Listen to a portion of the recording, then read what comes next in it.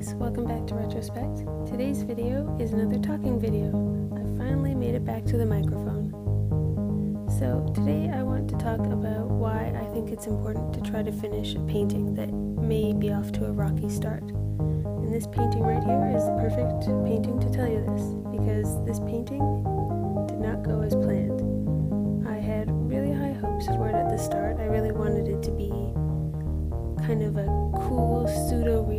Crystal painting and I had thought of doing some flat panels with some graphic elements but once I got painting I was just going from the reference picture and it wasn't going as planned.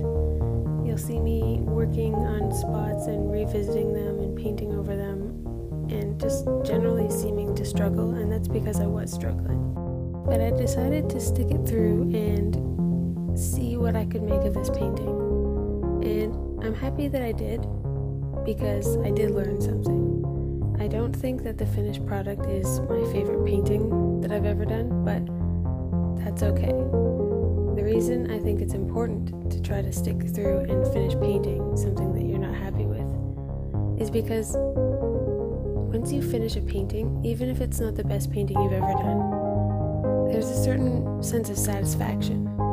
You get this feeling that you've completed something and it's not hanging over you feeling unfinished.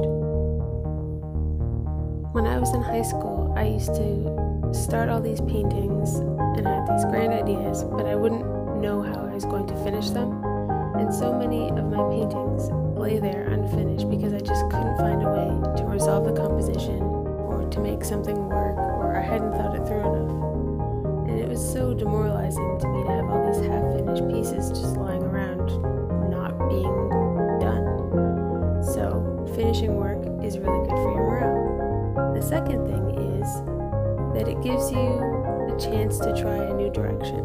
Because with this one, I was going from a realistic or pseudo realistic approach at the start, and I just changed direction. I thought, I'll just paint over in flat black, and I started with the outline, and then I added in some stripes and tried a brief moment with some polka dots you'll see in a minute.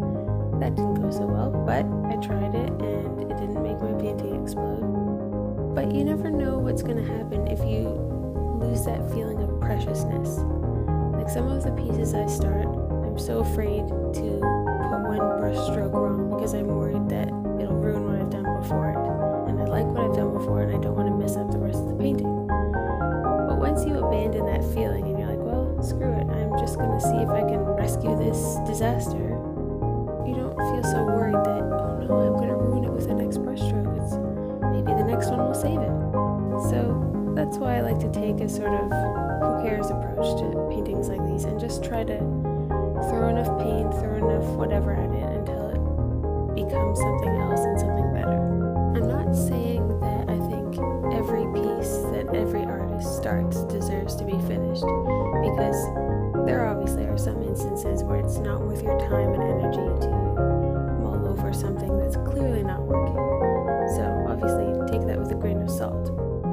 definitely other ways for unfinished or unresolved paintings to find new life. I could have taken this crystal painting and cut it up and collaged it, put it into something else. Any scrap of canvas, any bit of whatever can be repurposed into something else. So, you know, there's no truly useless piece of paper in my mind. Yeah, there's not always going to be something you want to collage, but, you know, there's probably a cool way to use something you've got lying around. As I say, one person's trash is another person's treasure, so I kind of like to apply that approach to my art. But it does get a little problematic when you've got piles and piles of oh, maybe I'll use this art supplies, so I guess an editing eye is also necessary. So I hope this gave you some new insight or maybe helped you pull something back from the brink like I did here. And I hope you enjoyed the video. Give it a thumbs up and don't forget to subscribe. I will see you guys in the next one. Bye!